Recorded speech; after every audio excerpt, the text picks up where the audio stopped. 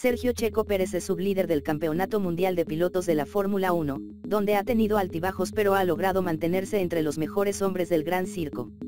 Por desgracia para Red Bull, equipo del mexicano, Checo también les ha dado otro subliderato no tan agradable, que es el de ser el segundo piloto de la parrilla de F1 que más gastos ha provocado en su escudería por los gastos asociados a reparaciones en su monoplaza.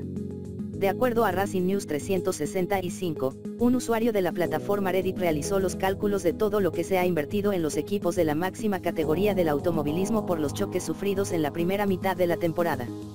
Checo Pérez ha tenido dos de estos incidentes, el primero durante la quali del GP de Mónaco, y el segundo en la primera práctica libre del GP de Hungría del pasado viernes, que sumados dan un total de 1.597.000 euros en reconstruir su RB19.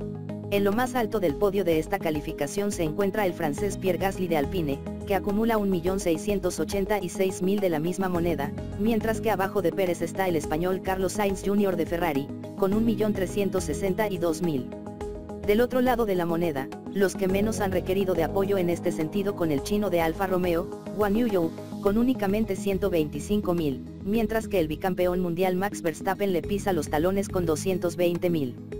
Si tomamos en cuenta los gastos totales por cada uno de los 10 equipos de la competición, que engloba cada uno a sus dos pilotos titulares, el más afectado es Alpine, con Gasly y Ekan en su nómina, ya que han desembolsado 2.958.000.